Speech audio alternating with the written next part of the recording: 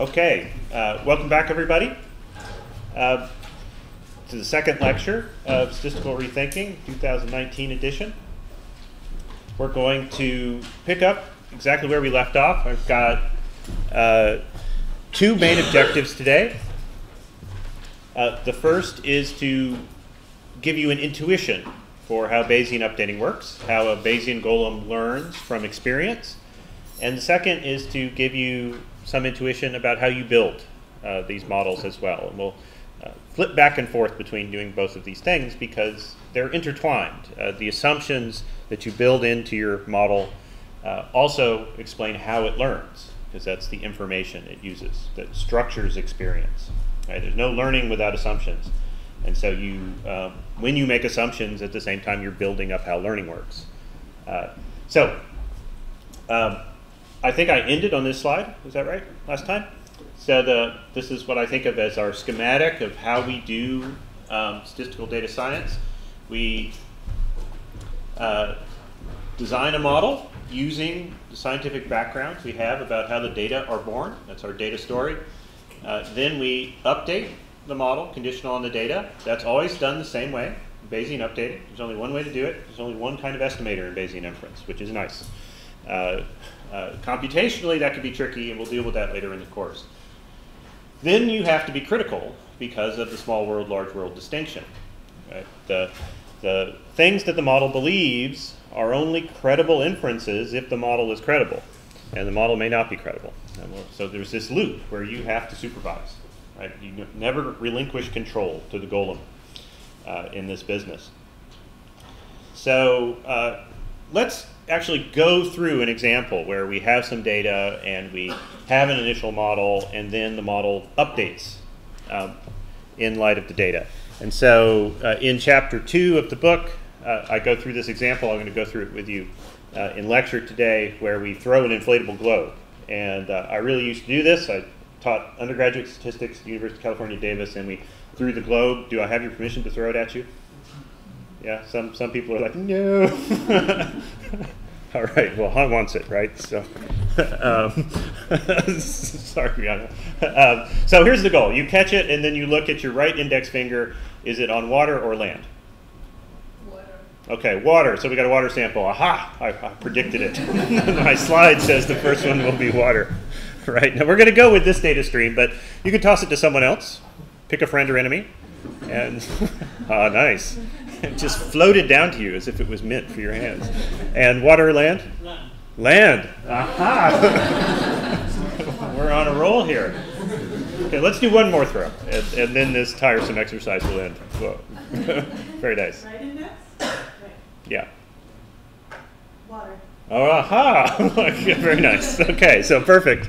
All right, you can hang on to that as long as I get get it later. I love that globe. Um, so. Uh, uh, here's the idea: is we would continue this sampling. Eventually, the the live samples from the audience would deviate from my pre-formatted vector. I, I expect. Uh, otherwise, I'm going to start to get worried. but uh, the idea is this is a sampling process. The data are getting generated, and I I like this example because you can see exactly how it's getting generated. And also, this carries forward the small world, large world distinction. We're throwing the small world around to sample data so we can measure some property, estimate some property about the large world. What are we trying to do here? We're trying to estimate the proportion of the Earth's surface that is covered by water. That's the, that's the goal. And you can, I assert, get a pretty good estimate by repeatedly tossing this globe. The question is how many times? Uh, and so what I want to do is, is in your homework, um, I will ask you to consider how many times you need to toss this globe to get a, uh, an estimate of a certain precision. But for today in lecture, I just want to use this to teach you how Bayesian updating works mechanically, uh, so that you understand for any sample size what the information justifies. Uh, so imagine we toss it, uh, how many times is this? One, two, three, four, five, six, seven, eight, nine times. We get this sequence uh, where there's three um, land samples and six water samples. And now the question is, how should we use this information to construct an estimate of the proportion of the globe that is covered in water? Yeah. Uh, leave aside until later the issue that, well, this globe and, and the Earth are a little bit different, right? Uh, This is better than throwing darts at a 2D map, which would be a terrible idea. Right? You could try that as well. Okay, so come think back to the model design cycle. We're in the design phase now. We're going to spend several slides. Uh, I'm going to outline this for you. I'm going to go design, condition, evaluation, give you an outline first, and then we're going to turn to each in some depth, and we're going to work through it. Okay? Uh, so, what's the data story here that lets us build a model? Uh, what do you know? You know a lot about how these data have risen. You saw it, right, with your own eyes, right? Uh, a professor threw something into the audience and someone caught it. Uh, I, uh, we are willing to believe that the process of where Hans' right index finger was is totally random with respect to my intent. There's no way that I could rig the throw. Well, now you wonder because I got the first three exactly right, but no way we could rig the throw so that I could guarantee she would catch it and uh, get a water sample. Um, so uh, each throw is random, and the probability that you get a water sample on any given catch uh, should be approximately the proportion of the globe that's covered with water. Does that make sense? Because it's a chaotic system, right? It's like a coin flip. It's a deterministic physical system, but it's chaotic, so tiny differences in the initial conditions result in essentially random outcomes of the system, right? It's not that it's truly random. Nature is deterministic, at least at this scale. Let's ignore quantum mechanics for the moment. Actually, for the whole course, let's ignore quantum mechanics. but at the scale to low energies that we live at, us mere mortals, uh, the universe is deterministic, but it's a chaotic system, and so it appears random because we're deeply ignorant beings, right? And that's why coin flips work as randomization devices, because you can't possibly measure the initial velocity and position of the spin well enough to predict how it's going to land. That's the only reason. But it's definitely um, Newton, you know, wrote down most of what you need uh, to get it right. So that's true of our globe too. So we say there's this random number that's generated, um, but each toss should have a probability P of turning up water, where P is the proportion of the globe covered in water. And then finally, all the tosses are independent of one another. It doesn't matter if it was water, uh, you've got the same probability P of water on the next time. Yeah, there's no strong autocorrelation between the throws. This is an assumption. We would need to demonstrate this and be critical of it, right? And I think in the chapter, there's a section in which I show you how to do a calculation to inspect that. Um, but I'll leave it out of the lecture. Okay, does this make some sense, what we're doing? This is the simplest possible example I can think of, but we'll try to do these kinds of stories with a lot of models in the course so you understand where the assumptions come from. What we're doing with this information is we're building up the garden of forking data. We're trying to say what are the relative number of ways we could get the data we actually got, given the process that generates all the possible data sets that could have been born from the process. Right? That's what we need is the garden of forking data. And actually, we want a mathematical function for that, uh, so that we don't have to draw the garden, right, like we did with the marbles. But actually, this example is like the marbles. It's just that there's an infinite number of marbles in the bag, sort of, right? That's so we're estimating p as a continuous thing. Okay, the conditioning step is the use of Bayes' theorem, Bayesian updating. I'm going to build this up for you in this lecture first graphically. We're going to animate through uh, the whole Bayesian updating with the globe tossing, one toss at a time, and see how the model learns on each toss. And then we'll do the calculations, and I'll show you how computationally to do it. Right? And you're going to use those computational steps in the homework, which is already up on the website. Right? There's three problems in which you'll use those basic calculations. Uh, you'll do it in R. Um, you're, you're basically cranking through Bayes' theorem uh, by hand. Well, your computer will do it by hand. You'll be scripting, right? Uh, and then it'll do it. Um, so the idea is that you uh, give your model some initial um, plausibility of each of the values of p. In this case, we're going to uh, say uh, quite incredibly that every possible value of p between 0 and 1 is equally plausible before we've tossed the globe. This is incredible because, of course, you, you are an earthling. And you know a lot about the Earth. Before I've ever tossed a globe, if I asked you to give me a guess, right? I, I assume most of you know that more than half of the Earth is water, right? Covered in water, rather. And uh, uh, and uh, so we could do better than the zero to one prior, and and uh, I will ask you to do that in your homework. Yeah, but for lecture we'll do the bad prior, and then in homework you can do a little better. Okay, uh, and then there's this magical thing called conditioning. And so for the moment, uh, just treat that as a black box, and then later today I'll show you that it's not very mysterious at all. It's very easy what conditioning means here. Uh, basically, it means slicing off possibilities, just like in the Garden of Forking Data. There were some things that became impossible because of the data you saw. And when you remove those, other things, other things become more plausible. And it, uh, that's what happens in Bayesian updating. So let's think about this graphically. Again, I'm just going to walk through this like a cartoon and we do the calculations later. Uh, so before the globe was tossed, we've got this, uh, or rather the model, not you, the model has some prior set of information states about each of the possible values of p and it assigns some uh, equal plausibility to all of them. And that's what this prior is here. This horizontal dashed line is the prior probability of every value of p. There's an infinite number of them between 0 and 1. Yeah? Those are all the possible things, states the globe could really be in. Right? Imagine all the possible planets. And then the first um, data point arrives, and the model is going to update this. And uh, what happens in this case, and again, I'll show you the calculations to reproduce this graph uh, uh, later on, and, and, the book has all the code, right? So you know you can look at the book and reproduce this graph.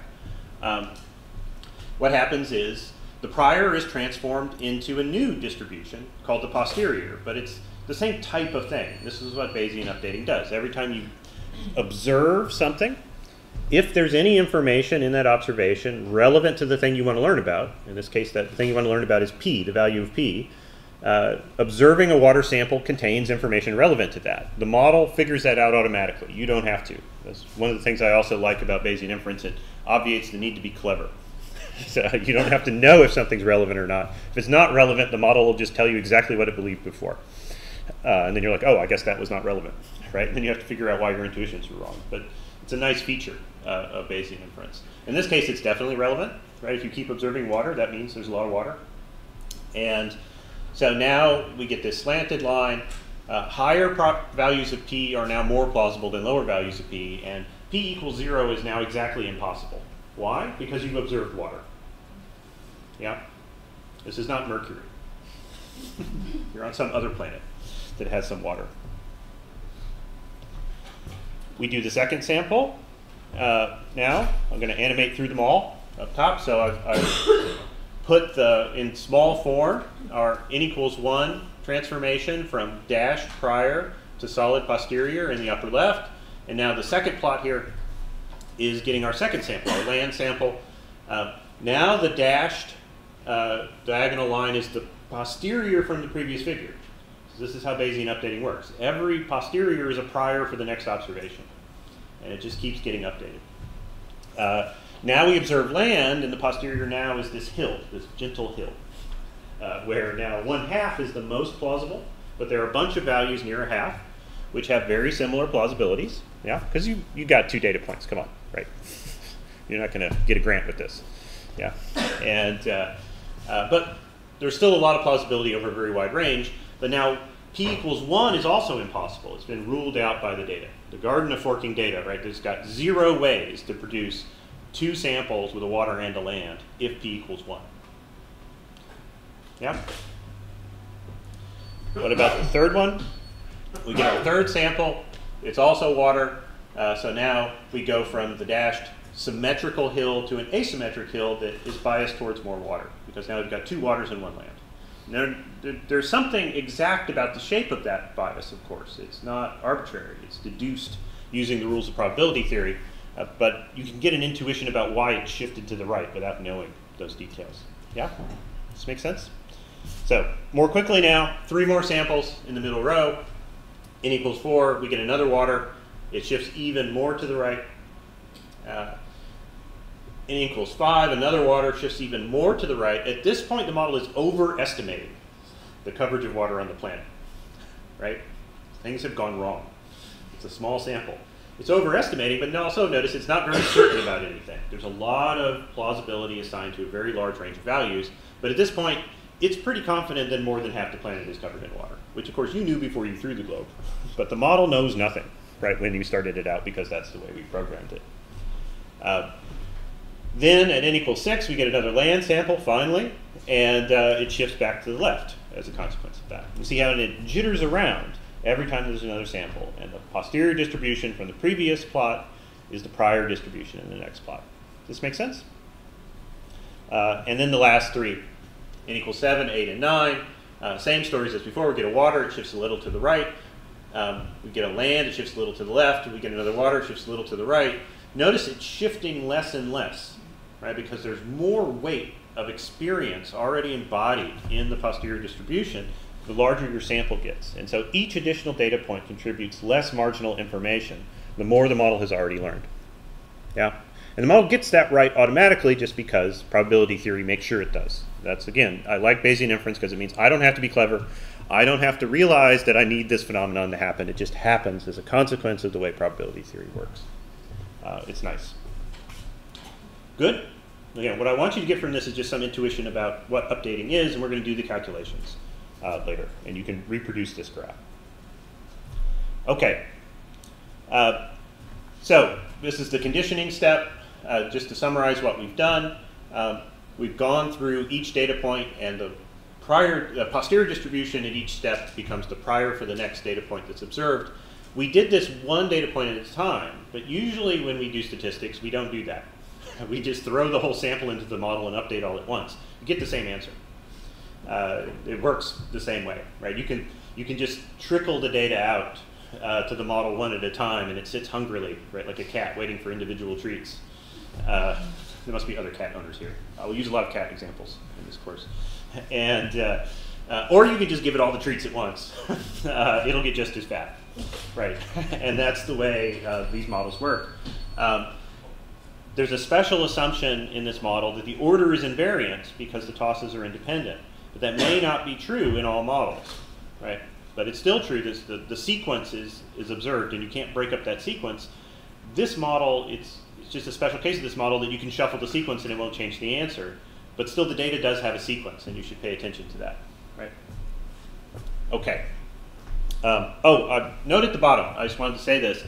I often get a question, uh, where's the sample size, right? Because the sample size has this sort of looming thing in a lot of non-Bayesian analyses. You got to keep track of your degrees of freedom and your sample size and all of that. The sample size is embodied in the shape of the posterior distribution. You don't have to track it. It's already there. Someone's done an analysis and you've got their posterior distribution. You can use that as a prior and you don't need to know independently what their sample size was. It's already been taken account of properly. Yeah? Uh, I know this is weird, but uh, it's great. Again, you don't have to be clever. So what happens is the sample size makes the thing more and more peaked. Uh, right? And how peaked it is embodies the sample size in a particular way. But there's nothing, there's no additional information in knowing the exact sample size that is going to help you uh, estimate peak. Okay. Finally, uh, the evaluation stage. You should be critical of all models here. you toss the small world, but we want to make an inference about the large world. We, none of us actually care about the coverage of water on my inflatable globe, right? It's probably not exactly the same uh, as the real world. Uh, anyway, uh, so you have to be critical about this. Is there something about the way the data is collected, the measurement process that might create biases? Um, is there autocorrelation in the throws? Uh, so on. Is there a colorblind person in the audience who can't tell blue from green? right? Uh, maybe there was a blue country. Uh, someone put their finger on it and called it water. There are, there are biases that may happen. These are silly examples, but in our actual science, less laughable things happen. Uh, and we should pay attention to those things. Um, so what we're going to do a lot in this course is do what are called posterior uh, prediction checks, and those are ways of checking the sensibility of what the model has learned. You have to supervise the thing. You can't just uh, let it run and then trust it. Well, you could, but that would be a bad idea. Okay, now let's turn to what I call the construction perspective. Let's really build this thing up and, and make the model, okay? So what I just showed you is just as if it's all behind the scenes. There are scripts that generate uh, those graphs, um, and they're in the chapter. Uh, now let's think about what's required in that first step of building the model from the data story to actually build it up. And uh, the construction process is pretty stereotyped across different situations, even though the scientific details are very different.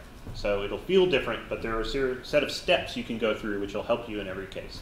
And this, as this is the simplest model that I know about, we're going to do it with this. Um, so a bit of an internet joke here, but uh, uh, probably uh, old enough joke that no one gets it anymore. But you know, question marks, profit. Anybody recognize it? No, one person smirking. Yeah, like uh, so. Uh, uh, in step one, you list all the variables. The variables are the things you can observe and the things you can't observe that you want to know or need to make inferences about to learn the things you need to know. Uh, I'll list these on the next slide in this case, and it'll become less mysterious. And then you have to define the relationships among these variables. Which ones do you need to know to say how plausible the other particular values of the other variables are? Right. Uh, again, I'll, I'll, show you exactly how we do this in this case. Um, and then, yeah, you have to do some other steps before you profit. Uh, that's the Bayesian updating part. The, when you build the model, what you're building is the joint prior distribution. Joint here means the prior probability of the data and the parameters. Because the data also have a prior probability. Before you've, before you've thrown the globe, you still know things about the possible data sets that can come out. You know how many outcomes are possible, two, right? And you have some sense uh, about the scatter over multiple samples because they will follow a distribution, a sampling distribution. And so that sampling distribution, you may recognize this, those of you who, who've done a lot of non-Bayesian statistics, uh, that sampling distribution is a prior for the data. When you get the actual data, it will be part of that sampling distribution. Yeah? It'll be one slice from that garden of forking data which comprises the sampling distribution. But the sampling distribution is a prior probability distribution in Bayesian inference. Uh, okay, and then, yeah, we, we, what we deduce is the joint posterior by slicing off the stuff that has been ruled out by the exact observation we get. So, to put some meat on this, we've got exactly three variables in this case. It's nice. There's no others that we're going to worry about. N, P, and W. So N is the number of tosses. Think of this as the sample sizes you want. Uh, number of times we toss the globe, and that's nine in this case. There's P, which is the proportion, the true proportion of uh, water on this inflatable globe. And there's W, which is the number of water that we observed. You could also be redundant. You could have a variable L, which is the number of land you observed, but you can compute that from N and W. Yeah? Or you could get rid of N and have W and L, right? And then W plus L is N. Am I making sense? Yeah, so in the chapter I do these two configurations, if it's any help for you. Um, the arrows are meant to show that generatively, uh, you need uh, N and P cause W, right? The, the, the number of, the relative numbers of ways that W could get a particular value, like 6 in this case, depends upon the values of N and P. But the values of N and P don't depend upon W, causally. Uh, the value of P does depend upon W inferentially. Right? So these arrows are about causation, they're not about your inference. What Bayesian inference does is it goes backwards against the causal arrows. Something has been caused, and then we trace the arrows backwards to make inferences about the cause. Does that sound a little bit weird? Yeah, okay. If you're confused, that's just because you're paying attention, right? Uh, this is this is not how uh, you know organisms are designed to think, but it's a really useful thing to do. So uh, be patient with me, and I guarantee this will this will pay off. So uh, Two of these variables have been observed, N and W. You've seen them, you've measured them, and if you believe your lying eyes, then you've got values for those. Um, but one of them uh, has not been observed, and that's P, and we have to infer it from the other two. That's the job of the model. Does this make sense? Uh, this observed unobserved distinction is something that's a property of your measurement process. The same variable can be observed or unobserved in different studies. All right, so N, for example, is observed here, but there's lots of ecology work where N is the population size. And you don't get to observe it, and that's your inferential target. Right? I know there are ecologists in the audience who, who do these sorts of models, right? and uh, so I love models like that. Maybe we'll do one in the second half of the course. Um, same basic model structure, but you must infer how many times the globe has been tossed. Good times, right? And it's doable. Uh, this is mark recapture. Those of you who heard of mark recapture you can do mark recapture this way. We're not going to do that today. Okay. Okay. So what's the definition of W? Oh, I should say definition of N. N is fixed by the experimenter. It's none. Right? We determined that by how many times we threw it. What's the definition of W? Um, this is the relative number of ways. Uh, uh, what we want to calculate is the relative number of ways we could see W given N and P. We want a function for that, a mathematical function, so that we don't have to draw the garden, the infinitely large garden. Uh, so usually these functions, which assign the relative number of ways to see any specific value of w, is called a probability distribution. In this case, this, this is a probability distribution I think a lot of you know, but indulge me for a second. I just want to spend a minute building it up. And I, I know most of you will have seen this before, uh, uh, but if you haven't, then maybe you'll enjoy this a little bit. So Uh, this turns out to be a famous probability distribution, but it's very easy to build up from first principles. Um, let's consider a sequence of only three tosses, uh, the first three in our sequence. Water, land, water. And then I ask, what's the relative number of ways we could see this sequence? Yeah, given some value of p. We don't know, but just given some value of p, any value of p between 0 and 1. Well, uh, it must be you had a chance p of getting the first blue, and then you had a chance 1 minus p of getting the green, right? Because 1 minus p is the probability of land. Agreed? There's no, there's no other events. There's no, we're not counting lava, or what else could there be? You know, urban space, right? Uh, and then there's another p chance. They're multiplied because they're independent. And when things are independent in probability theory, you just multiply them. Right? It's the chance they happen together and they're independent events, you multiply. It's called the product rule. Why do we multiply? Think to last lecture.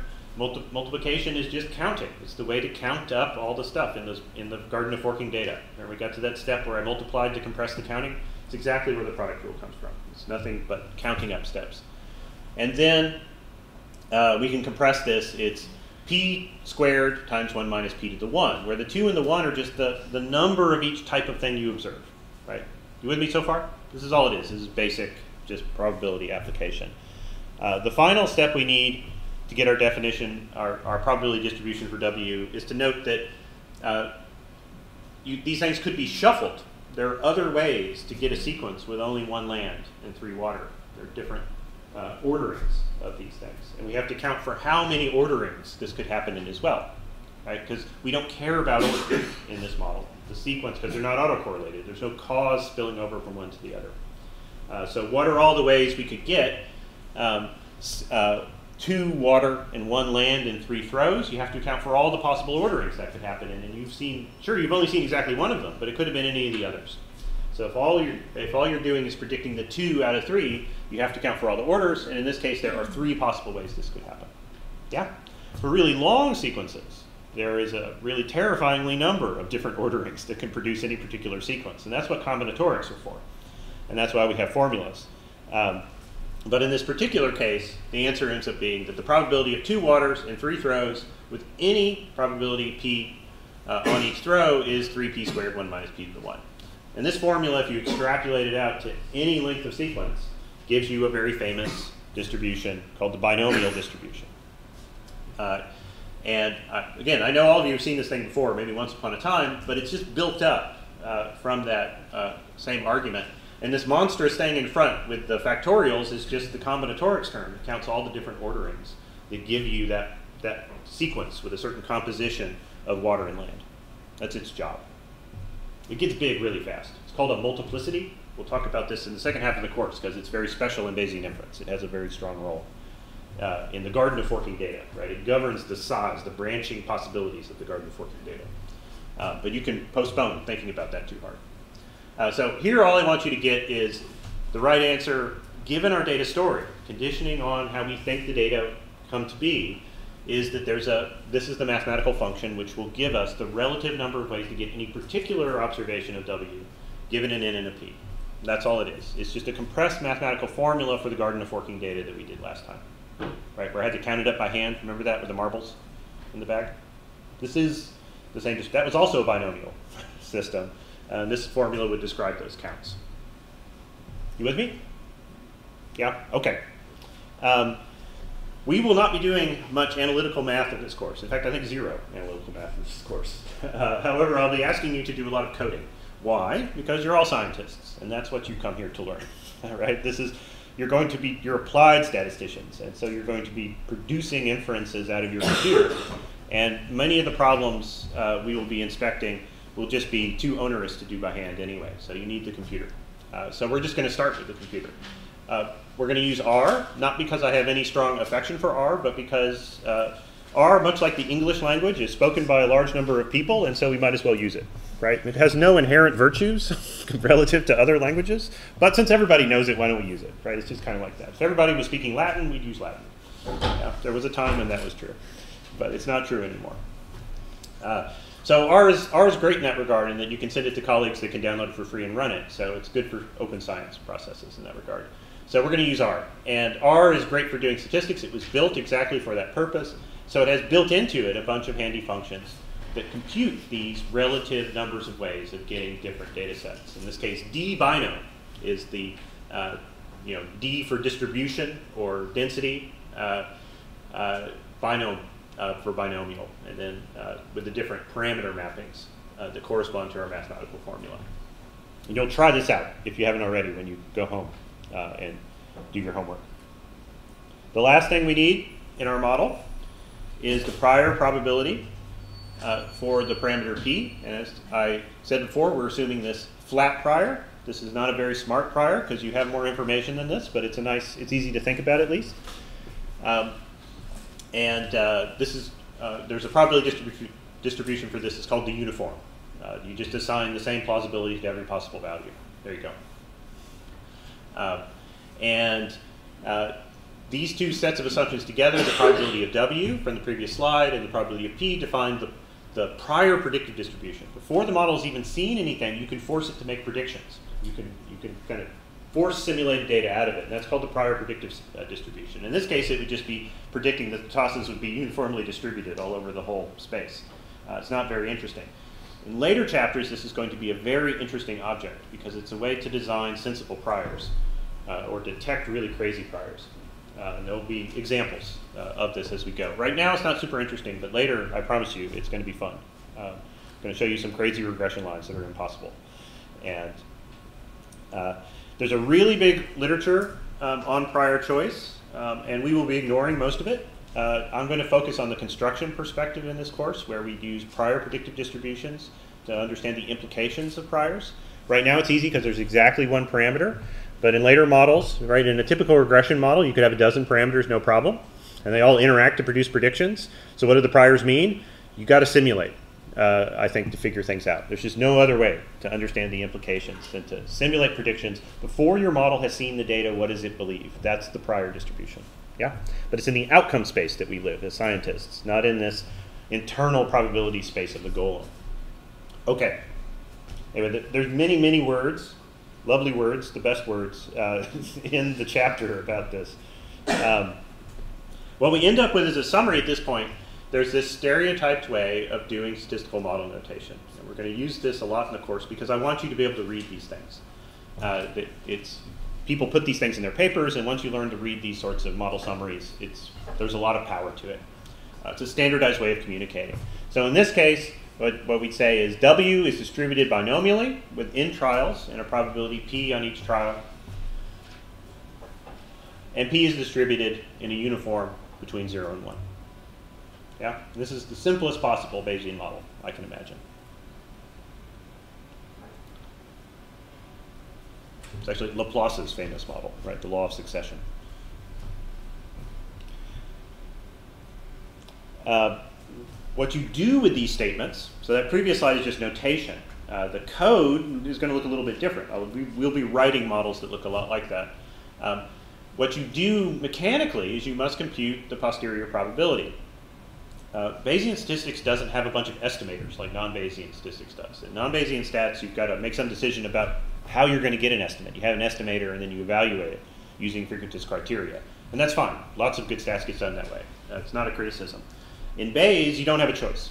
Uh, there's one estimator, and that's the posterior distribution. And it doesn't produce a point. It produces a distribution of plausibilities over all the possible values. And that's your estimator. And you've got no choice. That's the only logical thing to do, right? Given the way that probability theory works. So um, that's always your target, which is nice. You don't have a choice to make, and it feels it's comforting. Yeah?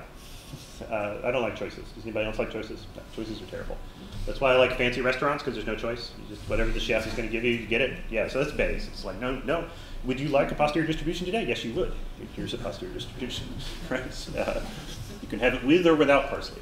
Yeah, and uh, so uh, you use this thing Bayes theorem, and uh, again, there there's a lot more detail in the chapter about this. What I want you to get right now is that Bayes theorem. It's hard to remember uh, there's a bunch of symbols and they're all shuffled around and like what's the exact order and it's fine. You'll get it in time. Uh, you'll understand it. What I want you to understand is it, the form it takes is just um, the garden of forking data we did last time. Uh, we're multiplying the prior times the times the relative number of ways the data could have arisen, and then we're standardizing. so that all the numbers are between 0 and 1. So the sum is between 0 and 1 again. That's all we're doing. So the, it's just the products, like in the Garden of Forking Data. We, we multiply the probability of the observed variables times the probability of the prior and the prior probability, and then we normalize it. And you normalize by summing up all those numerators, all the top parts, all those products. And so in mathematical notation, that's what it ends up looking like. And this is this famous thing called Bayes' theorem. Uh, but its job is just to count up the relative numbers of ways, given each cause, each, each conjecture, each potential value of p, that you could see the data. That's all it's doing. And the normalization is mathematically ugly, uh, but that's all it does is just normalize. In fact, you don't have to do it because the relative number of ways is what you care about. So you can skip normalization. Then it's not a probability, though, and then casual mistakes could be made. Uh, so you should normalize, and your computer will do it for you. Uh, but technically, it's not even required. Yeah.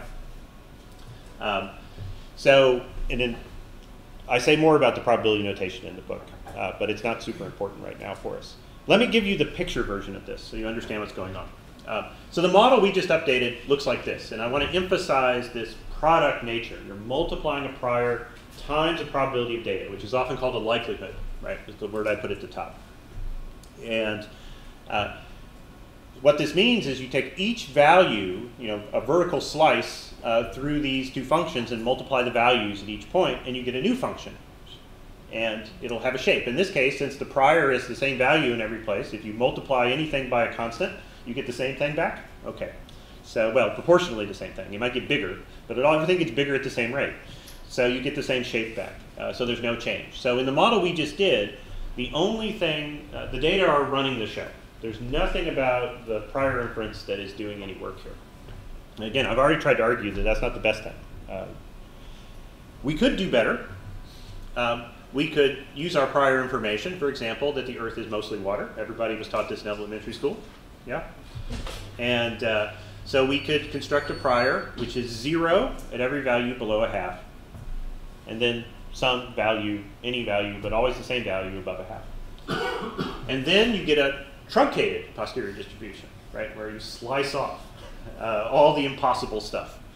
Because you know a priori, right, the model doesn't know that purely from the data. The data can't tell you that. But if you knew that already, you can embody it in the prior. And that lets you get to the answer faster uh, as a consequence. And then finally, you can do some really weird stuff, uh, right? You can make any assumption you want. You can make bad assumptions. uh, here's a weird assumption where we have this prior that's peaked on a half. Maybe we you know, learned our lessons in elementary school very badly, and we learned that the Earth is exactly half water. And so we want to put, some, put a peak there. And we choose this prior.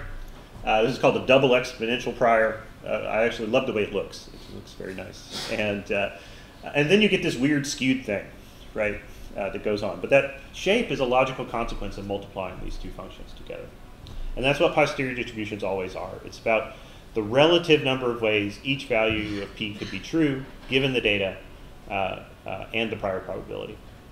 So computationally, um, there are a number of different ways to get approximations of the posterior distribution. You have no choice about the posterior, but you do have a choice about how you approximate it. And uh, there's an analytical approach, which I'm not showing you because, well, it's not very useful. There are a very small number of models where you can analytically solve for the posterior distribution. This is one of them, though. you could do it in this case, and the book has a note where I give you the, how to do it. I made the graphs earlier using the analytical solution. Um, for any even slightly more complicated model, it's impossible. Like nobody can do it because there are integrals. And those of you who know much integral calculus, you know integrals are like a, you know, it, it's a wild land of, of possibilities. Right? uh, and there are a whole lot of integrals that just can't be closed. Uh, in fact, there are still unsolved integrals in, in math where you get famous if you solve them. Right? So in, we, we have science to do, so we're not going to do that. Uh, instead, we make our computer do the integrals. Uh, we do it numerically. So uh, we're doing numerical integration. You'll be doing fancy calculus, but you won't even realize it. And there are different ways to do this fancy calculus. The only one I'm going to talk about today here is the first one, grid approximation. It's not very useful in general. We're only going to use it for two models in the course, but it's great for teaching because it forces you mechanically to see that we're just counting up the, the branches in the Garden of Forking data. We're just going to count them up, doing the multiplication. And then, uh, for the first part of the course, we're going to switch to our third option here called quadratic approximation. I'll explain that on Monday when you come back, and we'll start using it. Um, and then, I say quadratic approximation is also called uh, La, the Laplace approximation, because Laplace did it, right? Uh, and uh, and then the fourth one in the second half of the course, we'll be doing lots of Markov chains, right? I know for some of you this is why you've come, because you want to do Markov chains. And we're going to wait so that we're only fighting with one thing at a time. Uh, but Markov chains uh, solve a whole lot of really important problems in this. And really the growth of Bayesian inference in the sciences since the 1980s is largely attributable to really nice Markov chain, Mar Markov, Markov chain Monte Carlo algorithms that you can run on your laptop. Yeah. Okay, what is grid approximation? So, you know, the posterior probability is the standardized product of the probability of the data and the prior probability. Chant that to yourself. Right? Write it down before you go to sleep. That's it. That's all. That's Bayesian inference right there. And um, standardized just means you add up all the products and you divide by the sum. And we're going to do that in code in a second. So hang on. This will be clear once you see the code. Uh, grid approximation does is instead of considering every infinitesimal value of p that could be true and doing some integral over them all, that's what you'd have to do if you're going to do this analytically, right? You have to sum over a, an infinite number of possibilities. That means taking an integral. Uh, instead of doing that, we're going to consider only a finite number of them based on a grid. But if we make the grid very fine, so that there are a large number of them, we get a very nice approximation of the integral. Uh, this is called grid approximation. Uh, for some of you, this will help you understand integrals, which is another bonus uh, for the whole thing. Yeah? Okay, grid approximation is great here. Um, you get more than a few parameters, though, it becomes basically impossible. Your, your, the sun will go uh, nova and swallow the earth before your laptop finishes computing the grid. And so combinatorics is just not nice. Uh, it just has no regard for human life. Um, so, but in this case, it's great. It's very easy. So let's start out with a very simple grid. Here's our space we're worried about. Proportion of water on the bottom is the thing we want to make an inference about. There's an infinite number of possibilities between 0 and 1. Let's consider only three of them, right? 0, 1 half, and 1. And compute, say those are the only possibilities. This is like the marbles in the bag.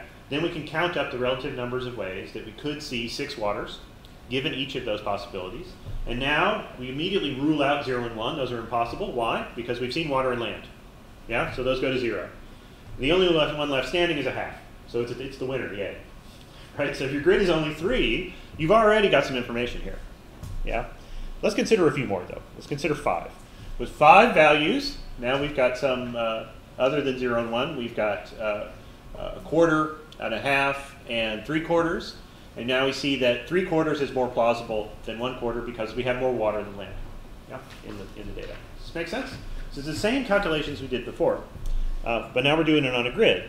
If we increase now to 10 values, it's looking more and more like the thing we computed before.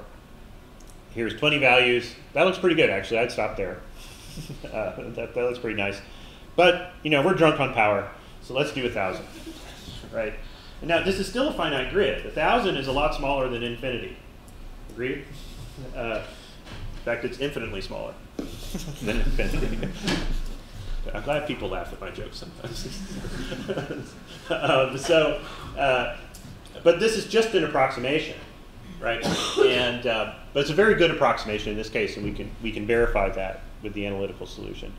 Uh, here's the code to do this. I'm going to step through this uh, uh, piece by piece for you. I won't normally step through the code piece by piece for all the examples as we go, but I think it's useful here because this grid approximation presentation is about understanding Bayes' theorem. That's what it's about. This approximation is useful for that. Um, so, step one of our grid approximation is you define the grid. That is, you, what are all the values of p you're going to consider? So what I do here is I generate a sequence. SEQ in R is just a way of making a sequence uh, from 0 to 1, and I want 1,000 equally spaced values. then we're going to uh, define the prior. That's the next thing. Oh yeah, then I plot our grid on the left. Those are our equally spaced values of p. Uh, then we're going to define the prior probability of p, uh, and we're just going to assign 1 uh, a thousand times. Why a thousand times? Because that's how many values of p we're considering. So each of them gets the same prior value of p right? And this is a uniform distribution between 0 and 1. You end up assigning the value 1 to every one of them. Why? Because then the integral sums to 1. Uh, those of you who are thinking about that. If you don't want to think about that, don't. Sorry I mentioned it. but uh, the area under the distribution has to sum to 1, right? So you have to assign the value 1 to all of them to get it, the area underneath it to be 1. And now the probability of the data. Um, this is our D binom friend again. D binom 6, 6 waters, 9 tosses, and then we put the whole thing P grid in there. Uh, P grid has a thousand values in it, and this is why you're going to love R. Is if you give it a list of numbers, it does the it does the same operation on every one of them and gives you a list back. Yeah, it's just built to do this. It was built by statisticians to do statistics, so it, it's built to do this. Uh, so when you give give it P grid, prob data has a thousand values in it, one for each potential value of P. Is it good? Um, and then I plot this down here, and you've seen this shape before, right? You'll see it in your dreams. And then finally, we standardize it by dividing each value in pos. Uh, oh, then we yeah we compute the posterior by multiplying probability data by probability p. Nothing exciting happens because probability p is the same in every case. It's multiplied by one. We get the same shape back in this example, and then we standardize um, by just dividing by the sum of posterior. And then again, the same shape.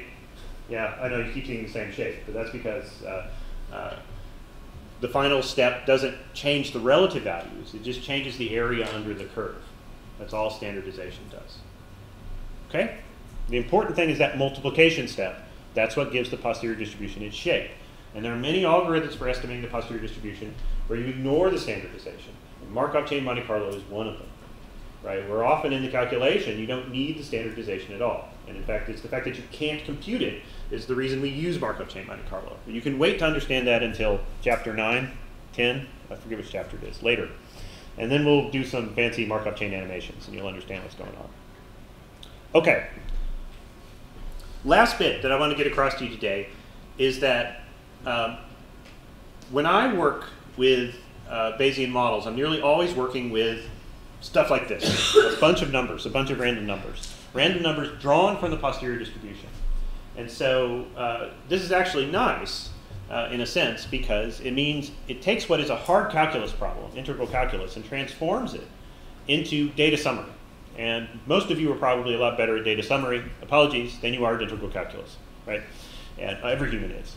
uh, right? How many numbers are between one value and another? You just count them and then divide by the total number, right? And then you've got the proportion in a certain interval. Uh, that is actually a calculus problem, but you just did it by counting, if you've got things to count.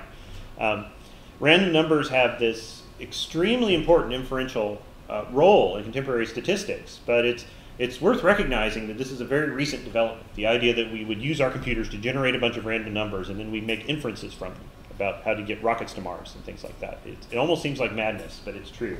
And so, you know, starting in the 20th century, people started publishing books with pages like this. They were just full of random numbers because you need them to do science. But it seems like madness, right? You can imagine having a time machine and taking this back to like ancient Athens and telling them, no, we run our society on random number generators. And they say, well, this is, this is why you're screwed up, right? This is why you come back to us for the answers, right? Obviously.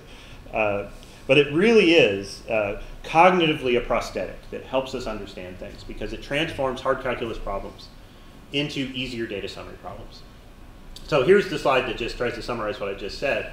Um, we're going to be sampling from posterior distributions in this course all the time, even before we have to. So that, two reasons. First of all, it makes a hard problem into an easy problem, uh, an, easier problem. And second, once you start using Markov chain Monte Carlo, you're only going to get samples. That's all you've got anyway. And so you might as well learn how to work with that now. Yeah? That's my gambit. And um, uh, it's much, much easier to think with samples. Okay, so let's sample from our grid approximate posterior. Here's the recipe for sampling. First, you get an approximation of the posterior, in this case. Uh, then you sample with replacement from the posterior, and then you compute stuff. We'll, do, we'll compute some things. Again, in chapter, this is all of chapter three, is all examples of how to compute stuff with the grid approximate posterior for the globe tossing model. All kinds of things. I want to give you a few examples of how this looks. Um, there's one line in R that is sufficient to do all the sampling. We can sample uh, 10,000 values from the grid approximate posterior with this with the line sample. So sample P, P is the list of all the possible of our, our grid. Prob posterior, so every posterior is a list of posterior probabilities, and so it's going to sample each value of P proportional to the probabilities in posterior. We're going to do it 10,000 times, and we're going to do it with replacement. Uh, and now you get a big bag of numbers, and those numbers are present in proportion to their posterior probabilities. And then you can start doing summaries. And now you're just summarizing how many values are within an interval, how many above, are above a half, and things like that. And that's ICER much easier to think about than trying to do some integral uh, over the distribution. Um, when we get back here, if you think about plotting on the left here, sample on the horizontal um, versus the value that was sampled on the vertical, there's this big slew across, but you'll see that it's like you're looking top down on the posterior distribution like it was a hill. There's some topography to it. And if we look at this hill sideways, you get this density kernel estimate, which is what you're looking at on the right. And that's an approximation of the thing which we had, which we had before. Yeah. When you start doing Markov chains, you're only going to get these samples. That's all you get. They just spit out. They're engines for spitting these things out. They're beautiful engines. They just spit out these samples. Um, but you will all already know how to work with those samples uh, when we get there. Okay, now compute stuff, as I say. What might you want to compute? Well, that depends upon your scientific question. You have some questions and how you want to summarize the evidence. Yeah. Uh, so I don't want to uh, be too specific here, but in the chapter I give you a bunch of tools for how you do, a bunch of examples for how, what you might do. Um, very commonly, people want to construct intervals, right? Or say um, how much of the posterior probability is above or below zero. Uh, so I give you examples of how to do these things. You literally just count up the values that satisfy that criterion and divide by the total number. And then you've got the probability it's below zero. Uh, it's that easy. Um, let me say a little bit more about point estimates and confidence intervals uh, before, before we close up today. So you can think about there are two general kinds of intervals that, that people like to construct, and this is what I mentioned before. There's um, so you say intervals of defined have a, of a defined boundary. Like so, we might ask in the upper left, what uh, what's the probability that less than half of the Earth is covered in water, given these data? So that's the blue shaded area in the upper left, and you compute that uh, by counting up all the samples that satisfy that criterion and dividing by the number of samples. It's that easy. Yeah. This is a silly example, I know, but at least it's transparent. Yeah. Um, uh, you can also do it with 75%, um, uh, right? Uh, uh, in the lower left, what I'm showing you is the lower 80%. You're finding the value on the horizontal axis below which there is 80% of the, of the total probability mass. Yeah, and that's a slightly different calculation, but uh, again, it's just a counting. Um, and then in the right column, I'm showing you these intervals um, of, of defined mass. Um, well, the top is still defined boundaries between a half and 0.75. Uh, and then the lower right showing you the middle 80%. There's an infinite number of 80% intervals, and we've got to pick one, right? But there are an infinite number of them, right? You can just slide that blue mass around, and it gets wider and narrower depending on where it is exactly, but there's an infinite number of 80% intervals. Starting feeling comfortable yet? Right, so papers are, always report intervals, and they report only one. What is that thing they're reporting, given there's an infinite number of intervals which have the same mass? Uh, this is a question not often answered. Um, let me try to give you an idea. There are two basic kinds of uh, uh, specified mass intervals in, in statistics, uh, and at least in Bayesian statistics. In frequentist statistics, the intervals are a whole, we won't talk about it, they're weird. Uh, but you have intervals, um, well, we'll call percentile intervals, which put equal area in each tail. And this gives you the central area. So these are the ones you're probably used to. If you think about a 95%, uh, what you might call a confidence interval, I'll say a little bit about that in a second, you're going to put, uh, you've got 5% left over, and you put 2.5 in each tail. And so now it's in the middle. And those are most of the intervals you see, are those kinds of intervals. Percentile intervals is what I call them. Uh, percentile intervals are not necessarily the right thing to use. They're great summaries. All intervals are just summaries. They have no magical properties, right, where the boundaries are. They're just summaries of where the action is. Um, a percentile interval is a nice summary when you have a symmetric distribution. What about when you have an asymmetric distribution, like my example here? We imagine a different data set uh, where there was more water present. Uh, no land has ever been observed in our sample, and so now p equals 1 is a possibility, and we get this really skewed posterior distribution that just keeps rising, right? Um, Now the uh, a 50% percentile interval leaves out the most plausible value. It omits one. That seems bad, right? If, your if your summary of the distribution omits the, the highest value, the point where it's maximized, I assert, I can't prove, but I assert that's a bad statistic to report. Right? So you want to consider something else. Uh, and in this case, there's another kind of interval which doesn't have this flaw. It's called the highest posterior density interval. Um, I say much more about this in, in the book. Uh, this will always include that highest point. Yeah, but it has other problems. Uh, there's no grand solution here. What I want you to, to understand is that intervals are just ways of summarizing the shape. They're, they're, they compress the information, but the shape is what matters. There's nothing about the boundaries of the interval which has magical decision properties. Uh, they're just summaries for communication. And so uh, if you look at the posterior distribution and you see it's highly skewed, then you can choose a good summary. Uh, but you have to look. Yeah. Uh, now, in typical regression models, you're not going to get a skewed posterior like this, but there are lots of places in science where you do. It's not that weird, actually, to get something like this. Um, code to do this in my rethinking package. There are two functions, PI and HPDI, which will compute these from samples. You just give them the samples from posterior distribution and the mass you want, and it gives you the boundaries. Okay, so you don't have to toy around with the algorithms to do it. Um, okay, point estimates. What I want to say about point estimates is usually they, there's no point to them. Uh, right? We, we, care about uncertainty, and the posterior distribution is a distribution, and you want to summarize that. Uh, there's a bunch in chapter three that I'd like you to read, which is about justifying a point uh, estimate. And what you need to do that is a decision analysis. You need to assign costs and benefits to different kinds of mistakes you'd make. Um, and again, there's a big section in chapter three that I refer you to to talk about that. Typically in the sciences, we don't do this because we're building a research program and we're going to accumulate evidence over many, many independent studies. And so we don't preemptively make a policy decision. But I have a lot of colleagues who do applied work and they have to make conservation decisions, for example. Do you list a species? Do you delist a species? And then the costs and benefits of these decisions matter a lot. And then you want, really want to say, like, well, what's our estimate? Right? And you use all the information to construct it, but you get a different result.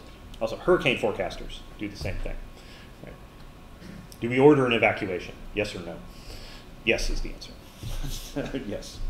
Um, okay, couple final things uh, talk about. Um, so there's a lot of confusing language about intervals, and I, I, have nothing but sympathy for this. It's a big terminological jumble out there, and I'm not very picky about what people call intervals. They're just kind of like because they're just summaries of the shape, and I don't have superstitions about you know five percent or anything like that. So whatever. But the term confidence interval well, it, look, you, you, can't have confidence in this interval. right? That's it, it, it's overloaded. It's like it's like an Orwellian newspeak term, right? It's trying to say like, believe me, this is a great interval, the best interval, right? Uh, so this is this is political language, and I don't like it. Um, it doesn't even definitionally fit. Um, uh, it's a non-Bayesian term, and it doesn't fit the construction of what's called a confidence interval. Uh, they should be called like you know, repeated repeated occurrence intervals or something like that.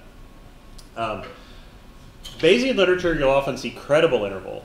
Uh, can I be grumpy again and just say I don't like this term either? And again, it's like political speak. Uh, it assumes, it seems to assume too much. It assumes that the model is credible. These inter this interval is only credible if you believe the model and data. But hang on, that's that's sort of jumping the horse here. Jumping the horse. I need a better metaphor. I don't know. It's it gets cart before the horse. That's it. cart before the horse. And uh, uh, again, it's it's it's a bit too Orwellian for me. Uh, I like uh, lately. I'm trying this out. Uh, the the term compatibility interval. I like this because it emphasizes the small world, large world distinction. This interval has the values which are compatible, most compatible with the model and the data. Now, whether you choose to believe the model, that's up to you, and that's another discussion to have. Whether this interval is also credible is another conversation we're going to have to have next. But what I can be sure mathematically is that this interval is compatible. Yeah, does that sound good? I don't know. I'm just trying this out. I, this is a new thing for me. You're the first victims um, of this. Okay. Um, the last concept I wanted to get across, but it's 11 o'clock now, uh, is is um, predictive distribu- posterior predictive distributions. So uh, I think the thing to do is do this one more slide, if I can keep you for another minute. Yeah? Well, the people who are complaining, you can walk out. I apologize though. But I think this is a very important step. Um, we've got the model and now we want to inspect what it believes after seeing the data. And one way to do that, one of the best ways to do that, is to make it make predictions. Uh, have it simulate data through the model as a causal model now. It's uh, by sampling things out of it. And so let's do that. Um, there's a big section in chapter three where I walk you through the whole thing, but let's think about it as a cartoon again. So we've got a posterior distribution here for the globe tossing model, and let's consider, just for a second, uh, three values from that, A, B, and C, drawn with those vertical lines. We're going to consider all the values, but I just want to show you each of these as an example first before we consider the infinite number of them. So let's think about if we took the true value were A and we simulated a bunch of globe tosses, what would the data sets look like? We'd get a bunch of ensemble counts of water, and what would the distribution of those counts look like? This is called a sampling distribution. Right? Same thing as in frequentist statistics, a sampling distribution. And so conditioning on P being 0.38, which is where that A line is located, you get a sampling distribution that looks like this. You expect mostly 3 and 4 water out of 9 tosses, but there's going to be a lot of spread, right? There's a lot of variability. That gives you an idea about the prediction in the future. So then if I ask you, okay, now we're going to do this uh, whole globe tossing thing with another class next door, everybody make a bet. And the person who gets closest to what actually happens gets 20 euros or something like that, right? And, uh, or I'll, I'll plant a spruce tree in your name or whatever makes you happy, right? Something like that. Uh, so then you want to know that you, all of you will dutifully calculate the sampling distribution and choose three or four, right? And that would be the right thing to do. But if it were B instead, you get another sampling distribution where it's centered on six. Uh, and if it's C, a very high value, you get a very skewed sampling distribution now, where eight is the most plausible value, but eight or nine should be your bet. Yeah? You would bet eight if I forced you only one. What we want to do is have a, a, a posterior predictive distribution which mixes all these together in proportion to the, pro, to the posterior probability of each value of p. I'll say that again. We want the, the actual predictions of the model are not any one of these sampling distributions, they're all of them mixed together in, a, in the proper weights so that the implausible values of p contribute very little and the highly plausible values of p contribute a lot. And this is called the posterior predictive distribution. Uh, and you just flow, I say merge. I give you the code to do this on the next slide. It's super easy. Um, and you get a new sampling distribution where 6 is most plausible, but there's tons of spread. This is an over-dispersed binomial distribution because the model's not very confident about what the true value of p is, and that's all embodied in these predictions. It's being automatically, properly, calibratedly cautious about the predictions, assuming the model is right. What does this look like in code? You need one line of code. You can use R binom, the R means random, binomial distribution, 10,000, nine tosses, and the probabilities come from the samples from the posterior distribution. And so now there's one simulation for every sample from the posterior distribution, 10,000 of them. You get a bunch of simulated water counts, and we plot them, and that's where that graph comes from. Does this make sense? With more complicated models, this gets harder uh, because there's more parameters that are involved, but the operation's the same, and there'll be lots of examples in the course uh, of how to do this. Okay, I was going to say some stuff about hurricanes and more stuff about predictive checks, but in respect to your time, and I'm four minutes over, uh, let me cut to the fun part, homework. So, um, homework's already up on the website. Three problems. Um, you're going to work with the globe tossing situation using the code that you've seen here, basically, and doing little modifications to it. Um, you've got a week to do it. It'll always be that way. I'll assign homework on Fridays. Please turn them in to me the next Friday. Take your time, but start early. You're welcome to work in groups. Just turn in individual assignments.